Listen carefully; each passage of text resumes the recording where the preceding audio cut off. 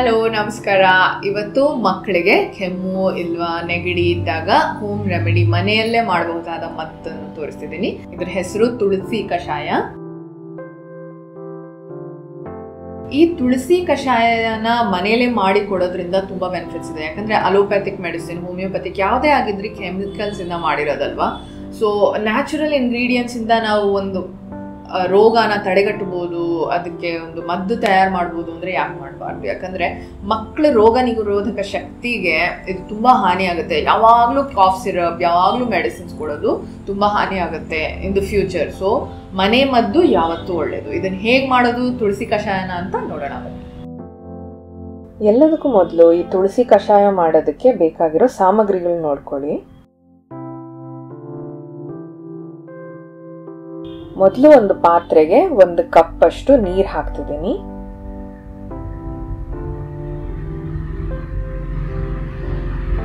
Next ಇದಕ್ಕೆ ತುಳಸಿ ಎಲೆ. ತುಳಸಿ ಎಲೆಯಲ್ಲಿ ನ್ಯಾಚುರಲ್ ಆಗಿ ತುಂಬ ಬೆನಿಫಿಟ್ಸ್ ಇದೆ. ಆಯುರ್ವೇದಿಕ್ ರೆಮಿಡಿ ಇದು, ಕೆಮ್ಮು ಕಫ ಥ್ರೋಟ್ ಇನ್ಫೆಕ್ಷನ್ ಎಲ್ಲದಕ್ಕೂ. ಇದ್ರ ಬೆನಿಫಿಟ್ಸ್ ಇನ್ ಡೀಟೇಲ್ ನಾವು ಕೆಳಗಡೆ ಕೂಡ ಡಿಸ್ಕ್ರಿಪ್ಷನಲ್ಲಿ ಹಾಕಿರ್ತೀವಿ, ನೋಡಿ. ಮೆಣಸು ಕೂಡ ಈ ಎದೆ ಉರಿ, ಕೆಮ್ಮು, ಅದಕ್ಕೆಲ್ಲ ನ್ಯಾಚುರಲ್ ಟ್ರೀಟ್ಮೆಂಟ್ ಅಲ್ವಾ? ಇದನ್ನು ಕೂಡ ಇಲ್ಲಿ ಯೂಸ್ ಮಾಡ್ತಿದ್ದೀವಿ. ನೆಕ್ಸ್ಟು ಬೆಲ್ಲದ ಪುಡಿ ಹಾಕ್ತಿದ್ದೀನಿ. ಇಲ್ಲ, ಬೆಲ್ಲ ಒಂದಿಷ್ಟು ಜಜ್ಜಿ ಹಾಕ್ಕೊಳ್ಳಿ. ಕಷಾಯಕ್ಕೆ ಸಿಹಿ ಕೊಡೋದಲ್ಲದೆ ಇದು ನಮ್ಮ ಇಮ್ಯುನಿಟಿನ ಬೂಸ್ಟ್ ಮಾಡುತ್ತೆ, ಮತ್ತೆ ಫ್ಲೂ ಥ್ರೋಟ್ ಇನ್ಫೆಕ್ಷನ್ಗೆ ಇದು ಕೂಡ ಒಳ್ಳೆ ಟ್ರೀಟ್ಮೆಂಟ್ ಅಂತ ಹೇಳ್ತಾರೆ, ಬೆಲ್ಲ ಕೂಡ. ಸೊ ಇದನ್ನೆಲ್ಲ ಚೆನ್ನಾಗಿ ಒಮ್ಮೆ ಕುದಿಸ್ಕೊಳ್ಳಿ. ಕುದ್ದ ಮೇಲೆ ಒಂದು ಸ್ವಲ್ಪ ಆರದ ಕೂಡಲೇ ಇದನ್ನ ಸೋಸ್ಕೊಳ್ಳೋಣ.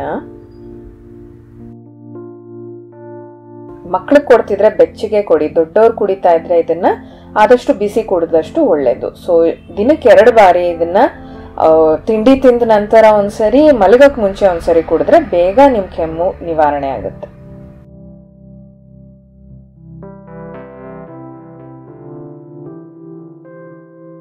ಈ ಸಿಂಪಲ್ ತುಳಸಿ ಕಷಾಯದ ರೆಸಿಪಿ ನಿಮ್ಗೆ ಇಷ್ಟ ಆಗಿದ್ರೆ ಕೆಳಗಡೆ ಕಮೆಂಟ್ ಮಾಡಿ ಹೇಳಿ ನಮಗೆ. ನಮ್ಮ ವಿಡಿಯೋನ ಲೈಕ್ ಮಾಡೋದು ಮರಿಬೇಡಿ ಥಮ್ಸ್ ಅಪ್ ಆ್ಯಂಡ್ ಸಬ್ಸ್ಕ್ರೈಬ್ ಮಾಡಿ ನಮ್ಮ ಚಾನಲ್ಗೆ ಯಾಕಂದರೆ ಮಕ್ಕಳಿಗಷ್ಟೇ ಅಲ್ಲ, ಈಗ ಹೊಸ ವಿಡಿಯೋಸ್ ಕೂಡ ಇನ್ಕ್ಲೂಡ್ ಮಾಡಿದ್ದೀನಿ. ಮದರ್ಸ್ಗೆ ಟು ಗೆಟ್ ಫಿಟ್ ಏನು ಮಾಡ್ಬೋದು ಅನ್ನೋದನ್ನ ವಿಡಿಯೋಸ್ನಲ್ಲಿ ತೋರಿಸ್ತಿದ್ದೀನಿ. ಸೊ ಮತ್ತೆ ಬನ್ನಿ ಸಿಗುವ ಅಲ್ಲಿ ತನಕ. Take care of yourself bye